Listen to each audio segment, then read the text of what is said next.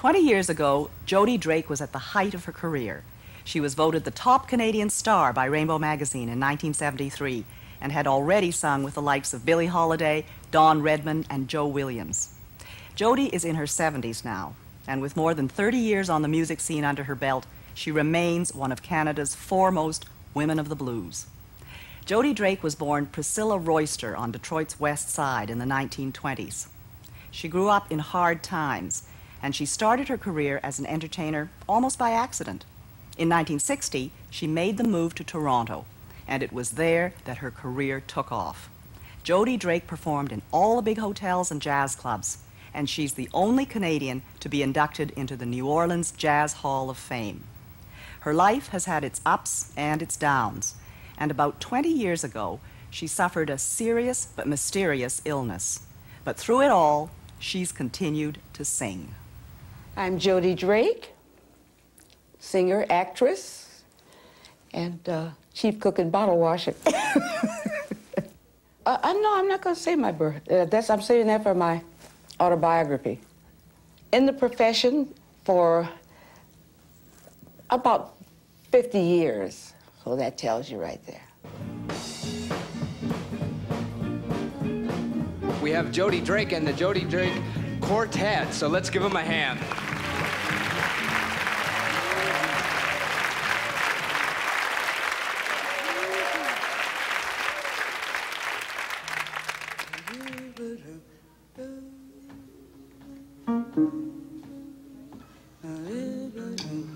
Am I in E flat?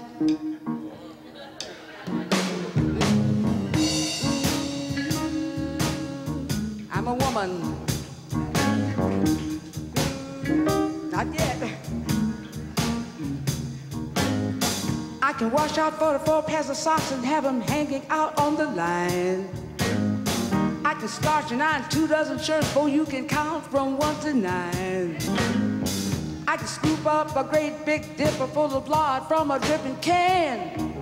Throw it in the skillet, throw it into my shop and get back for it. Melts in the pan, cause I'm a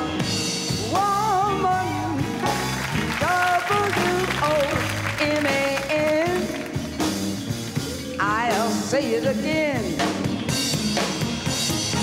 I can rub and scrub till this whole house is shining like a dime grease the car, feed the baby, powder face at the same time. Get all dressed up and go out and boogie till 4 a.m. and then lie down at 5, jump up at 6, start all over again, cause I'm a woman.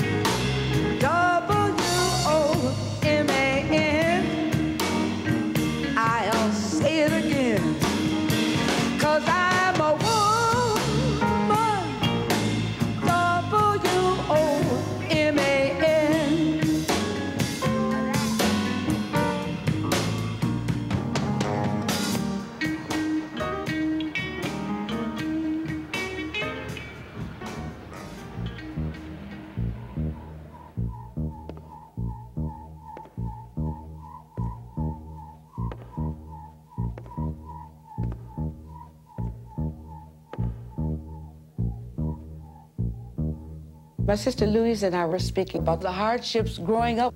It was a life of uh, deprivation because it was during the Depression. But uh, my mother was a marvelous se uh, seamstress as well as, as a chef cook. Yeah, you know, that's what I was going to speak on. Yes.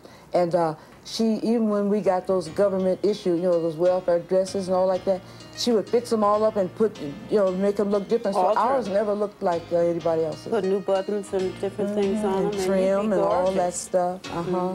She was trying to just the pride, huh? Oh, yeah, That uh-huh. thing that's just Yes, that's what it was. nil now.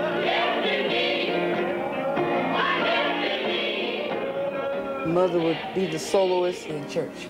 And uh, sometimes she'd get in that mood. I guess it was mm-hmm. maybe thinking about her ancestors, her mm-hmm. people, and she could hum. And there's no way that you wouldn't be moved by that. Mm-hmm. Just absolutely no way.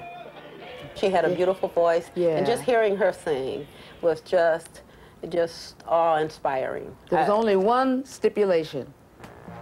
When Louise brought those musicians home and wanted to sing in that band.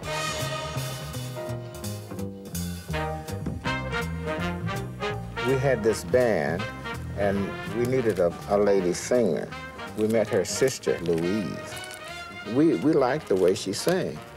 So she says, this will be very impressive, and this will like, uh, it will help promote the band, you know. Mother said, um, no, you'll have to wait she, until she finishes school.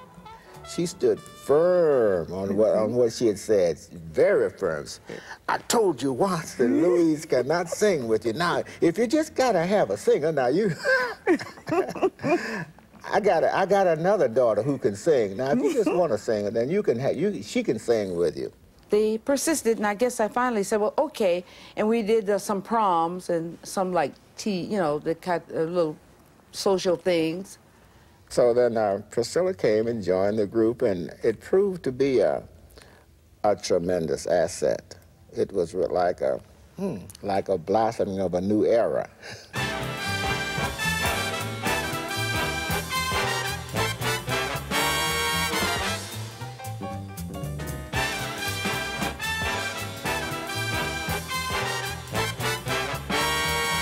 music uh, was was music then.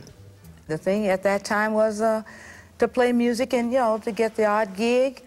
But you had to have, you know, your own foundation. You had to have something to stand on, you know, to hold on to because, you, you know, we, we had not reached that echelon yet. I mean, no way. You know. You know, music music during those days it it, it, it, it wasn't paying very much for a black musician. Yeah, Okay? yeah. Even even a band like Duke Ellington, they didn't make much money. Uh, Count Basie and Jimmy Lunch, but they didn't make much money. So uh, we wasn't up there in that uh, uh, uh, we wasn't in that elite uh, class. So then we we we just made peanuts, and they made uh, just a little over peanuts. Well, I had to work in a meat packing plant, and uh, I had a factory job. All bands, all black bands, had to travel Yeah. to make money. You, they couldn't stay in one, one, one town for, you know, too long. Well, first we uh, traveled in this old, big old that bus that looks like a school bus, and it had Joe Louis Brown bombers on it. So everybody used to come follow the bus. Where is it? Where's Joe Louis? What, Joe? Louis? yeah, Joe. so we had to be bothered with that. And then uh, uh, there were days when uh, we would make some money, like on the dance or whatever we had uh, done, and then pay it all out expenses on the bus, repairing the bus. And uh, it, it was always And like. then at that time, you couldn't sleep anywhere, you know, Oh, wherever oh, you were no, going. You no, no, to- no, no black. I mean, you know, if, if and down south, and we did, uh, you know, we didn't know anything I'm glad it was you instead of me.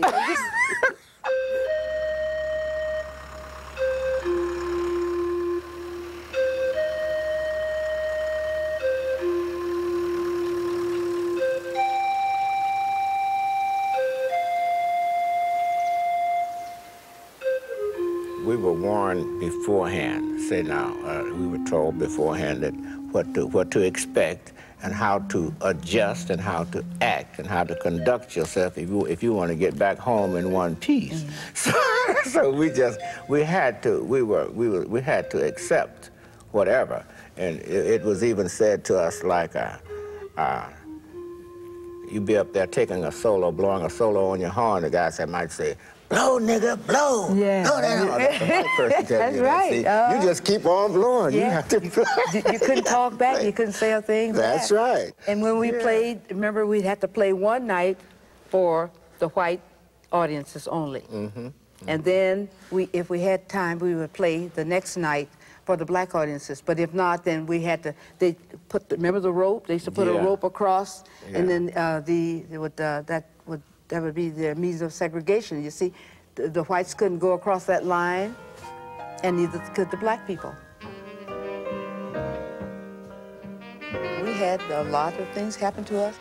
On the road, uh, you know, and I remember Duke Ellington and band were appearing. And uh, we, I was sitting right out, I was on the front line, front seat. I had a good seat there and enjoying myself. And I wasn't thinking too very much about it. And then all of a sudden, Duke Ellington had his whole band stand, and they all bowed to me. And uh, that was a great tribute. Everybody feel okay? Oh, yeah, that's just fine. Do it, uh, uh, finish on Lonesome Road, but do a lot of uh, uh, the tags, you know, like the, the like a, you know, like sometimes you do a cadenza, you know, on and on and on and on. Uh, yeah, yeah, turn around. But you, Yeah. you gonna go back to Lonesome Road or what? If, if um, you say start with work song, huh? No, just for the introduction.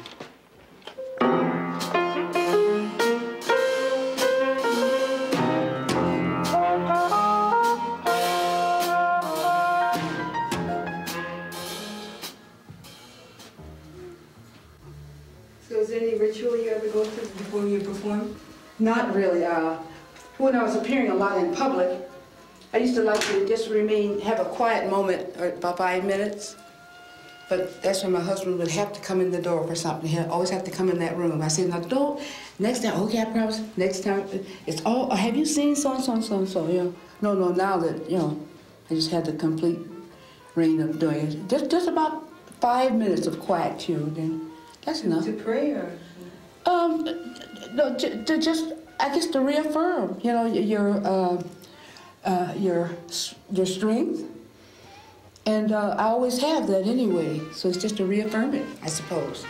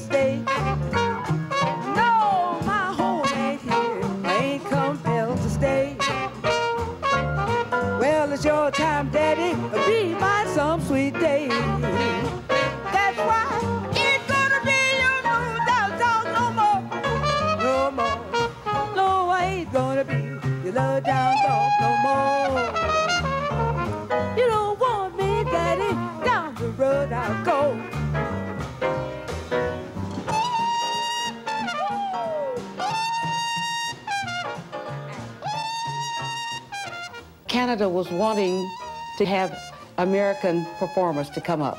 It began uh, first in uh, Montreal, and uh, pretty soon, I think, well, it expanded on to uh, Toronto. But Toronto of those days was a very, very different Toronto because it was uh, a, a very docile place. When I arrived in Toronto in uh, 58 and 59, it took me a little while. It took me two, maybe two or three nights to discover that I was in the wrong vein. They didn't really understand what I was singing because the blues were not known. They were not prevalent at all. Nobody knew. And here I was, I was singing the real McCoy, I was singing the real raw blues.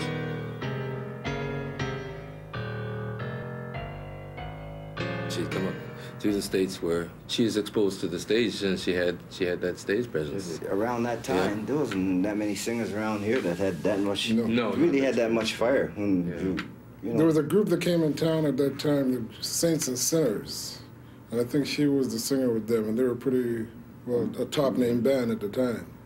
And I think they went back, and she stayed, and uh, she had the reputation, you know. she was an important link because who was there before? That you know. There was nobody here before, not doing what she did. A lot came, but they never stayed. You know, she stayed. She stuck it out.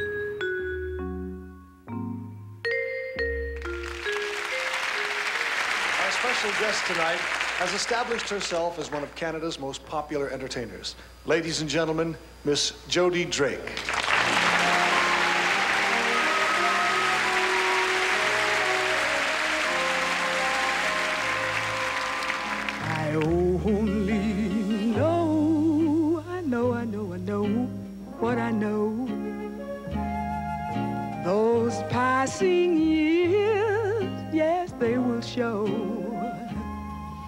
You've kept my love so warm, so young, so new. If she goes on the stage, you know you're going to get whatever she's got to get. That's a quality that exists a lot in, in musicians of that era. Because the uh, uh, times were tough for a lot of, of musicians, and, uh, but times were wonderful. Jodie was the type of person that she could sing. She could sing a ballad. She could sing a blues, and she could she could pop.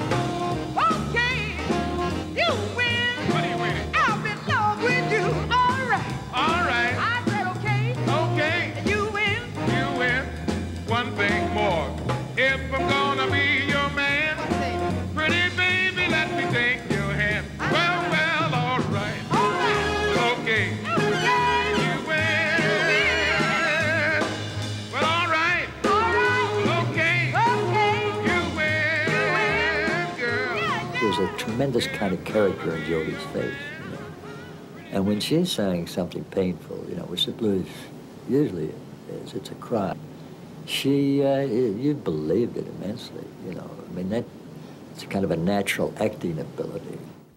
If you give a good, strong depiction of what the story is about, singing wise, I don't see any difficulty in being able to portray that uh, and emote. And that's what they call, you know, acting. To me, it's it's very strong, strongly correlated. I, I would imagine that almost any good singer could also uh, be an actress.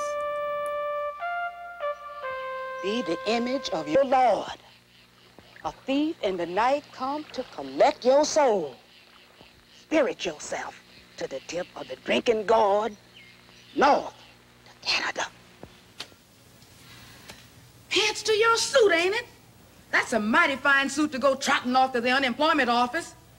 Which one or the other you gonna wear tonight when you try to con that girl out of her virginity? If she still got it. There were always these two Jodies. There was the Jodie who was this very wonderful singer, entertainer, and then there was the Jodie who had a clear personality and refused to just be a, um, a, a form of entertainment, but and, and took her whole being with her and her whole, you know, and took her people with her. Jodie was amongst the first of the prominent artists in this community to take a stand on racism.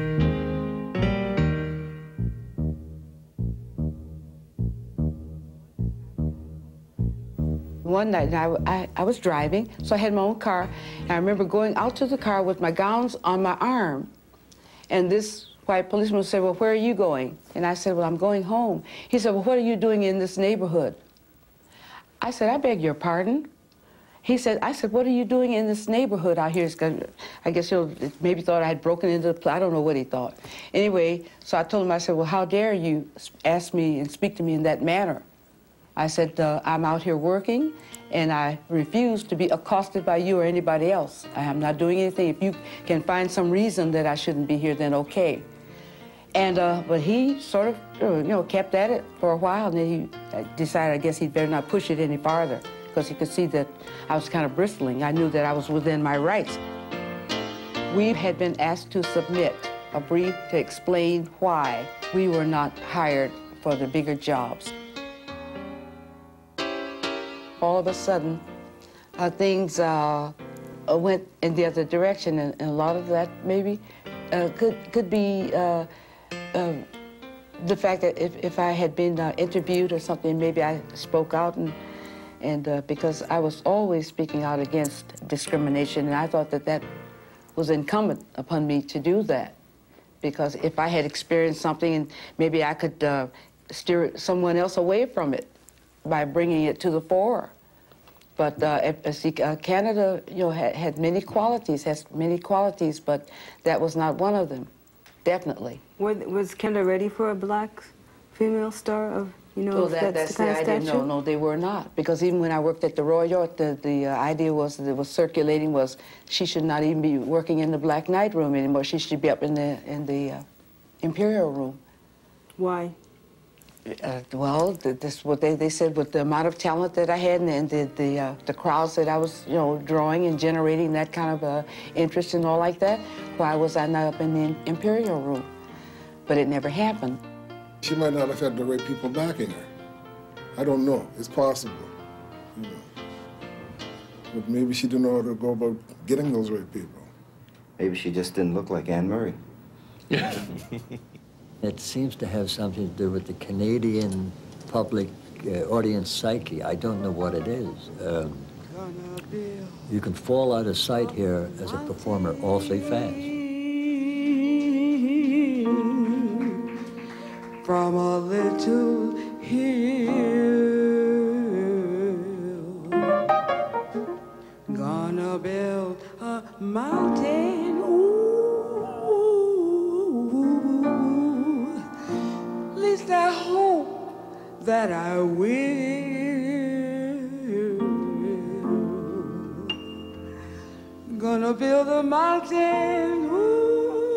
When she should have been uh, out and working, and, and, when she was ready to work and had, pre, you know, prepared herself for work, she would have to um, not, you know, keep an engagement or cut it short because of illness.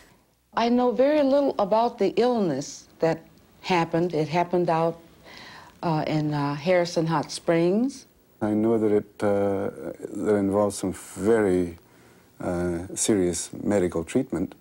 Uh, they, I mean, they actually had to drill into Jodie's skull, um, and uh, a lot of us feared for the outcome. I stayed in a coma even after I got there for a while. I guess five or six days or whatever. And uh, then uh, when I regained consciousness, one day this one doctor came in. So he said, well, how are you? And he was staring at me so hard. He said, how are you? And I said, well, I guess I'm okay now, but I was just coming around. And so he said, well, I'm glad. He's, and, and his first question to me was, do you know what happened to you when you were in emergency there at Agassiz? And I said, well, and, I, and somebody said, well, don't let on that you don't know. I said, well, yeah, yes, I do. So then uh, I asked him, I said, well, why did you let me die? Because my, I, had had cardiac arrest, so my heart had stopped and everything. So I was just, you might as well say, gone. And uh, his words to me, I'll never forget them. He said, we thought you were a junkie. They didn't know, but they assumed. Even though I certainly didn't look like one, I've always tried to figure out why. I guess I was just so thankful that I was alive and suffered no ill effects, so I guess it wasn't time for me to go. Gonna build a mountain from a little hill. Gonna build a mountain, at least I hope I will. Gonna build a mountain, I'm gonna build it high. I don't know how I'm gonna do it, only know I'm gonna try. I have a spirit within me that, that guides me and looks after me, and, and I can attest to it so much because uh, there are times when I know that I, I couldn't have made it on my own. Gonna build a daydream, gonna see it through. I'll take my daydream up the mountain and I'll make a bowl come true. Gonna build a heaven from a little hell. Gonna build a heaven, and you know well. Some friends of mine, they were saying, remember Alberta Hunter? She had been a singer and uh, of great importance, and then had gone to nursing, the nursing profession, and forgotten all about music. Somebody, some kind of way, remembered or heard her or decided to have her to come to something, maybe a benefit, and then people liked her so much, so she ended her life that way. I mean, up till the end, she sang until the end, till her end came, she was back into the singing again. So uh, maybe I'm not supposed to say that I, I can't, I shouldn't do it anymore. Maybe I'm supposed to feel that as long as I have the strength, and I must say that I have very good recuperative qualities about myself because, you know, I, I'm always able to get up and rally around and so forth. And so that must, there must be a reason for that.